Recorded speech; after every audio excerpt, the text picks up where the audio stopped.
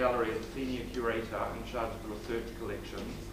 Um, Ron has a long-standing um, involvement in the work of Rita Angus. In the 1970s, he completed an MA thesis on Angus's work, and in the early part of the 80s, he was involved with a group of people who put together um, a large touring retrospective of her work, which many of you may have seen. Um, um, and he's going to speak to us today about two works by Rita Angus. Thank you, Ron. Thank you, Roger. There's probably a seat just over. Actually, Roger, let's a couple of plastic seats around there. Hello. Um, I have to apologise to those present who thought that I might be speaking about Brian Gray today. Uh, I'm not going to speak about Brian Gray today, but I'm quite willing to repeat a slightly modified form of the talk that I gave on Tuesday to anyone that wants to hear it. So after this, if anyone wants to talk to me about Brian Gray, I'm quite prepared to organise more time. Um, I want to uh, crave your indulgence, if you like. I want to sit during this talk because I really want you to look at these paintings. I want you to look at them for a little bit of time. Rather than having me bob about in front of them, I'd just rather you just looked at them because what I'm saying is really connected about the process of looking at things over time.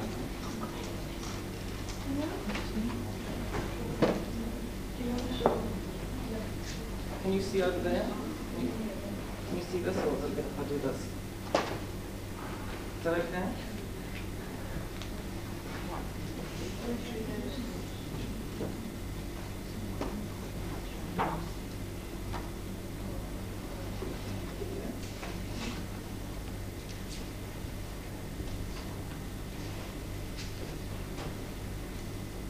I've chosen to address this painting, this painting here, rather than the other four paintings in the exhibition. And I'm delighted that this art museum has accorded Rita Angus uh, the same number of pictures, it's five pictures, as William Hodges has. It's one less than Augustus Earle, and this would have delighted her. She disliked this city intensely but she respected this museum. And we're proud that some of her greatest works are, are secured for the public visiting here. This is one of them, this painting, Central Otago. So here in this exhibition, Rita Angus is shown within a comprehensive context of New Zealand artists. And this has occurred once before for her, only once before, and that was in 1940 when the National Centennial Exhibition was shown here. It was shown about 18 feet above us Okay. So uh, Rita Angus was a modest painter. Uh, no, no, she wasn't a modest person. She was a modest person. She wasn't really a modest painter. She became very angry when she felt her work was being promoted above peers that she herself respected. And this Hamish Keith and Gordon Brown, who's sitting with us today, both the champions of her art. They were both thwarted in their desire to devote a substantive account of, about her work in their 1969 book, An Introduction to New Zealand Painting. Is that right, Gordon? Actually, she was so angry that she might be seen to be above those that were her, her co-equals, if you like, her peers, that she spent night after night drafting letters to Gordon about why she wouldn't uh, allow herself to have a more comprehensive treatment. But when Gordon and Hamish were preparing their book, Introduction to New Zealand Painting, Rita Angus was already very ill. And this was with the malady that killed her. She was furious that this museum had purchased her great painting, Hawke's Bay, which is in the Wellesley Gallery just round the corner. A painting she had labored on for over two years, from 1966 until 1968. She was furious not because she didn't feel it was one of her most profound renditions of New Zealand landscape, but because she had not been involved in its purchase. Rita Angus liked to determine where her paintings would eventually live. She believed that her life and her art were hers to determine. She refused to accept that her painting was a market product. She felt that her painting was her gift to New Zealand, almost her child in New Zealand, if I can be to say that. She wanted to ensure that the very best of her work had the very best future. This is why she chose and selected the National Art Gallery as the resting place of her painting estate. I wish to thank her heirs today for their magnificent generosity in making available to everyone in New Zealand. It has now been 20 years that they have done this, the collection, their collection of her work, which numbers many thousands of items. But when I was in the middle of my research on Rita Angus, um, Colin McCahon had kindly talked to me a number of times about his friendship with uh, Rita Angus, and he said to me, Rita Angus knew where she lived and what she painted. So I want to speak of Rita Angus when she was painting this watercolour here, Mountains Cass. She had just moved into her studio flat, and it was unusual to have uh, such a young person in a studio flat, but she had her own studio flat in Cambridge Terrace, Christchurch. The year's February 1937, and she's one month from being 29 years old. She's been separated from her husband, Alfred Cook, for nearly three years. She's made new friends, real friends. Jean Stevenson, editor of the Press Junior, later become Jean Bertram. The painters Louise Henderson and Olivia Spencer Bower, the sculptor Francis Shurrock, and the men Leo Bensemann and Lawrence Baigent, who are about to be her best men friends. In fact, Lawrence gave that painting to the city of Christchurch.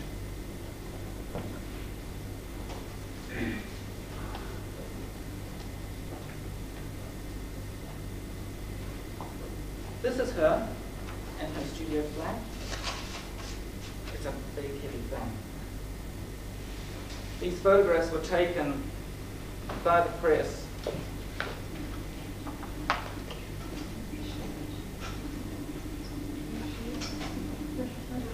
Yes, these are snaps I found somewhere along the way.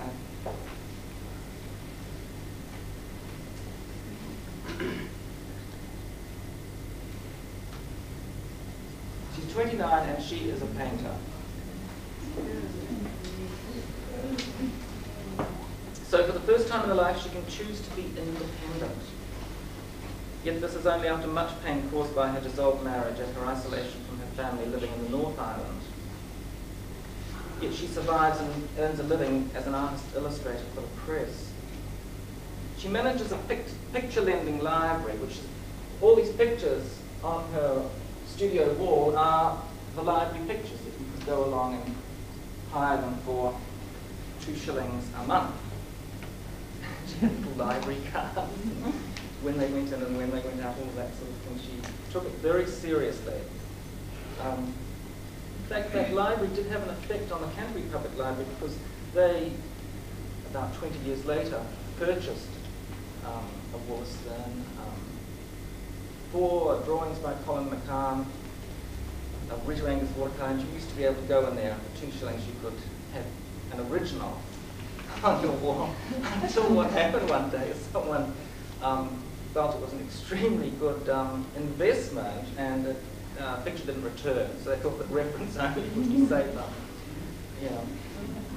So here we are. She's, she's looking after this lending service for pictures from her flat, and they're pictures by artists she knows and has met since attending the Canterbury College of Art. She's able to believe in herself. She wants to see herself and begins the third of her many self-portraits in the winter of 1936.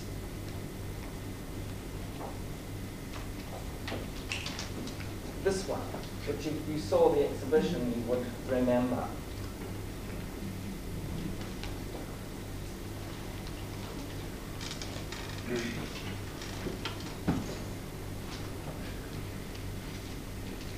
So I want you to see Rita Angus at the moment that she's painting this picture. Sydney Thompson, who painted that picture at the back of the big one, allowed her to, um, sort of really chose her for the flat. Um, and this self-portrait which I've just shown you in the Dunedin Public Art Gallery, it's, it's, a wonderful picture because when you think of Rita Angus, you realise that no other New Zealand artist has recorded their own self, their representation of their self, its appearance over time, with the acuity of Rita Angus. And uh, this portrait that I just showed you, lifting this looks like going to this um, anyway, there it is. Look at it again. This portrait remains the most prescient self-portrait, or one of the most prescient self-portraits of any artist working in New Zealand. And Tony Fomison, I think, her only equal in psychological portraiture, told me when he looked at it with me in the show when we had it here, that he'd never seen, quote, such a mirror of marriage's destruction. Tony laughed, and only that way he could laugh, when I told him a conservator had destroyed the significance, perhaps, of her self-portrait through over-cleaning the self-portrait's glazes, there was a little caricatured um, smoke outline of her husband's face, cigarette.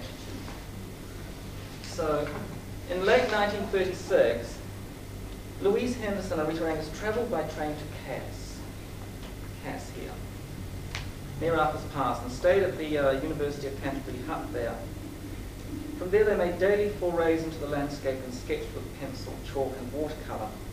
And Rita Angus made a large preparatory drawing for this work. And this sketch, which is in the National Gallery, is certainly one of the best outdoor drawings of the period. In fact, it's probably one of the best outdoor drawing period by anyone in 1936. It was completed, she took the um, sketch back to her studio and it was there that she worked up from the sketch, which is this one, you can see how close it is. And it's almost as large.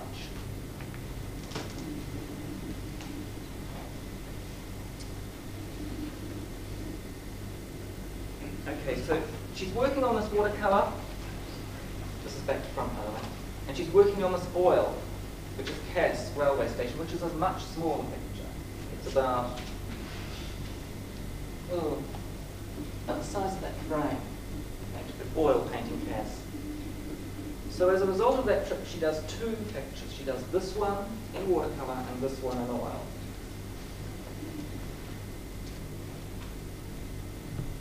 Now, this oil of Cass wasn't available for this exhibition. We wanted it, but we just couldn't get it.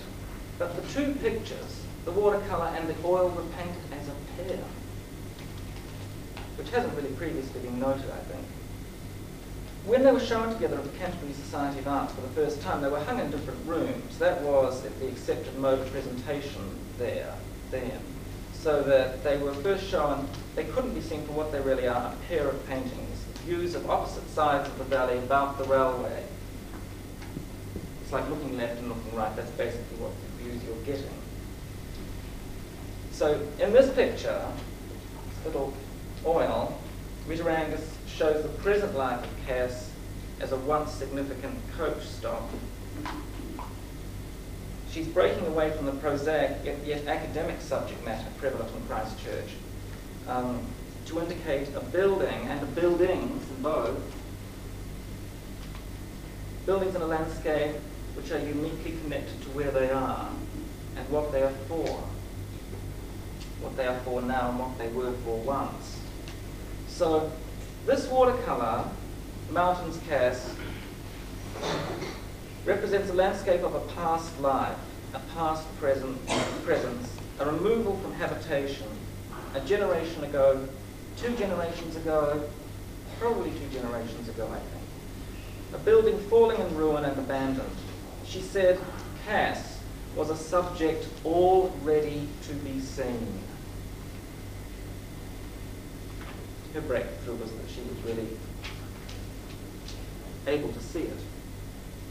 So she approaches her watercolour with an intense knowing sense of the tradition of watercolour painting in New Zealand, especially in the South Island. She knew the early watercolour paintings kept in the Canterbury Museum. She'd studied them closely. She understood that the topographic mode, where a landform record, record, a landform record requires the artist to render more or less shape and volume as they naturally appear to the eye. She understood that topography did not have to be contained by truths of scale, truths of shape, truths of volume, truths of lighting, truths of texture. She was ambitious. She knew she had the oil and colour technique to attempt a large visual statement. She upheld that Eastern philosophic maxim that the physical size of an art object does not lessen any potential for monumentality.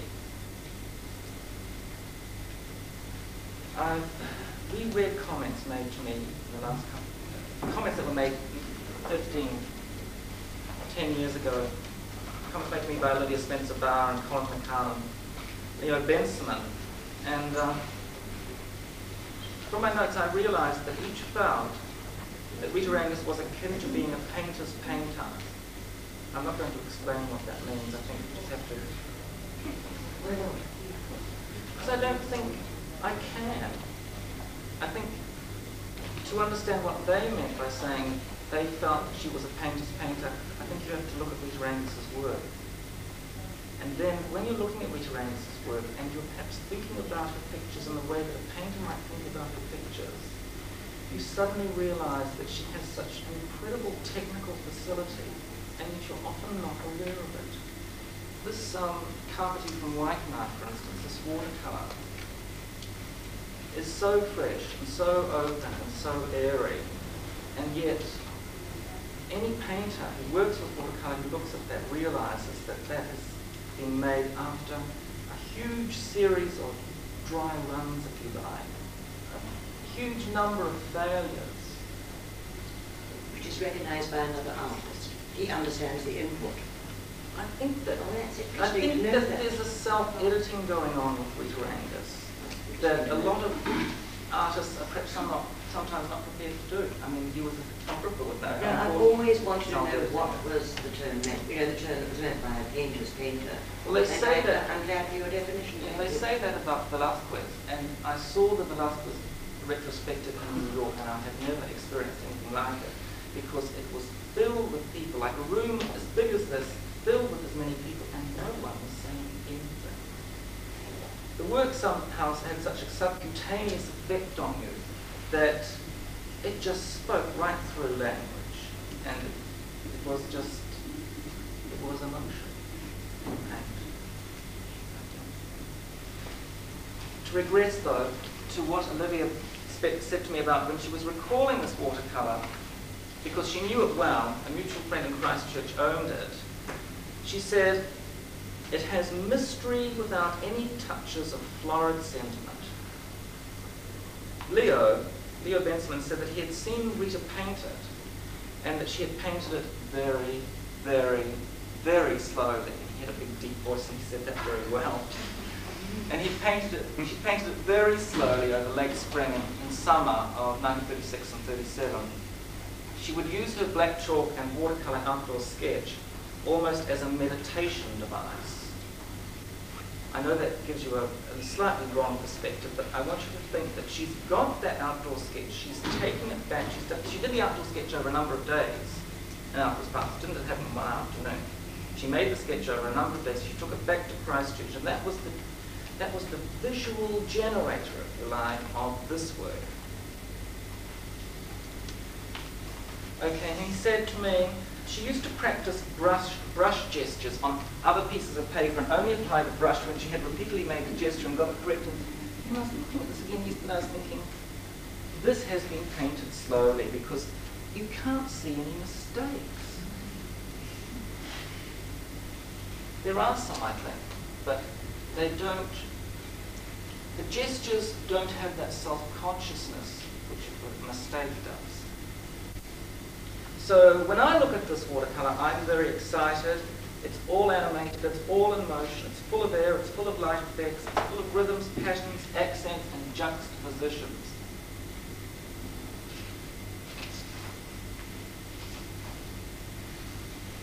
Colin McCahon was showing this watercolour after he had admired the oil Cass in Rita's studio on a visit there in 1939, take, take to meet Rita Angus by mutual friend. And um, Cass was, he said, when we were talking about it in Partridge Street, he said this, he said, I quote, something I knew, Cass was something I knew. Sheds cut into land for shelter. Rita got the composition right. When she didn't, she got it wrong. Always either right or wrong. Never ever, no never, in between right or wrong. Nellie Eagle said to me yesterday that John Oakley had noted to her that Rita Angus took her subject from Rata Lovell Smith. And that painting above the nickel over there, that, that snow that's in bright light, that's an outdoor sketch, it's a superb outdoor sketch by Rata Lovell Smith, and that is the sort of painting that John Oakley was referring to. I think because he also said it to me um, about the connection he saw between Rata Lovell Smith and Rita Angus, he was being critical, but I don't see it as a criticism. Rita Angus really admired Rata Lovell Smith and she emulated the painting process, which was to leave Christchurch and to go out into the hinterland and probably get as far away from the plains as you could. The example of Petrus van der Velden, to be sure. I just want to uh, stop talking, but I do want to say this, um, because I haven't really said it about Rita Angus publicly, and I would like to say it. Um, her reputation as an artist results from her 40-year career as a painter, and she spans the middle of the century, 1950, when she was 42 years old. Yet it is not 1950 that she did her best work. It was 10 years earlier, and only after 10 years later. 1950 for Rita Angus was an end to almost three years of trauma and a welcome beginning to reconstruction, both personally and professionally. So her family gathered about her and saw her through a crisis in her life. Greater paintings were on her